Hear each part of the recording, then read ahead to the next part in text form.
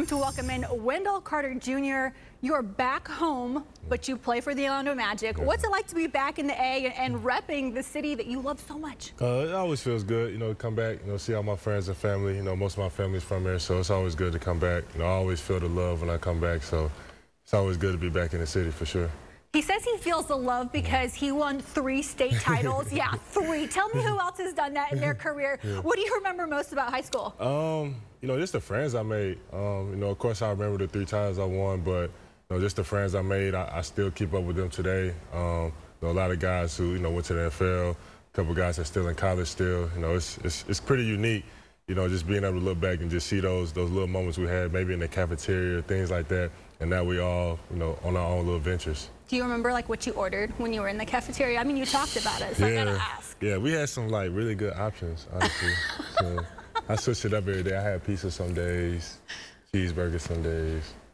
Yeah, the basics. Yeah, the basics. All right, so Pace Academy, that's where he went to high school. And of course, Andrew Thomas. Absolutely. He went to high school uh -huh. with you. Yeah. I mean, can you believe that he's playing for the Giants, drafted in the top five just a few years ago? It's great to see what he's doing now. Yeah, it's exciting. Um, you know, just just seeing his his demeanor, his his drive for, for football and you know, for him to you know get to the NFL um, as a as a top as a top pick, I mean, it's, it's exciting. You know, just because I, I saw it every day. You know, just him in the classroom, him on the on the football field, just grinding, grinding. He finally made it, and like it's like yeah, it's, a, it's a unique thing to see for sure. Andrew Thomas, welcome back to the Giants lineup. Well, how unique is it to have guys come from one particular high school in Atlanta and go to the league, NBA, NFL? It's, it's some, sometimes it's a blur.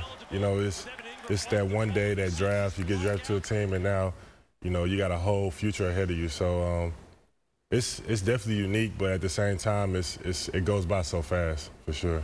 So you're back in Atlanta. You have a basketball camp. Mm -hmm. You're encouraging kids to come out mm -hmm. this weekend. Uh, tell me about it.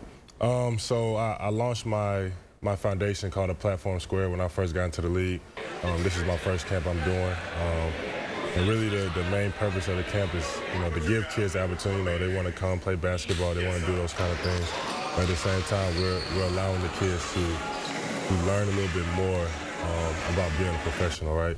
So we got two classes during the day, a financial literacy class and an African American studies class, where you know, just just giving giving these kids different avenues they can take to becoming a pro. Because everybody, you know, especially where I come from, they believe that the only way you can be a pro is, you know, playing basketball, playing football. But I feel like I want to teach these kids like you can still be a professional and don't have to do those kind of things. Because, you know, just to be quite frank, like everybody's not gonna make it to these, you know, these these positions in life. So, you know, it's it's a lot of ways you can become a pro, and you know, that's kind of what I want to teach them. For you, what's the best advice you can give a kid, whether he or she wants to be a basketball player or wants to do something else? I mean, yeah, with basketball, with anything you want to do, you gotta stay in school. In my opinion, um, you know, this this this basketball thing can be taken from me any day, and I feel like uh, one thing that can't be taken away from me is is, is what I've learned in, in my mind. So. Um, you know, that's that's something I feel like every kid should have, you know, going into high school, going into college, going into the real world, just having a good head on your shoulder so you know you're able to make certain life decisions that, that matters. And I think a lot of people out there would love to hear this. My man right here knows Trae Young, and he knows him pretty well. Are you impressed with what he's been able to do oh, yeah. in the last few seasons? He plays with a chip on his shoulder, yeah. no matter how good or bad he plays. Yeah, I mean, he, he's a he's a generational talent. Um, you know, they, they call him the second coming of, of, of a Stephen Curry. I know I definitely see it. Um, he's definitely turned up Atlanta. He's, he's got the city on his back for sure, so I'm definitely excited for him. Anything surprised you about what he's been able to do so far? Man, just that, that run they had, not this past playoff, but the, the, the year before that, like, that was really impressive for a third-year player. That was really, really impressive what he did. So, I mean, the sky's the limit for him, for sure. Do you play for the Orlando Magic? Tell me about the Magic and your time there. Um, we we got a lot of a lot of potential.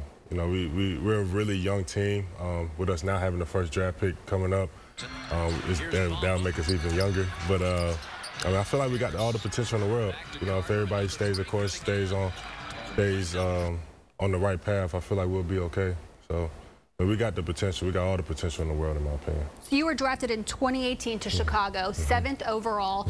What have you learned in the last few seasons that maybe you didn't expect? Um, that it's a business. You know, anything can happen at any time. You know, you never know.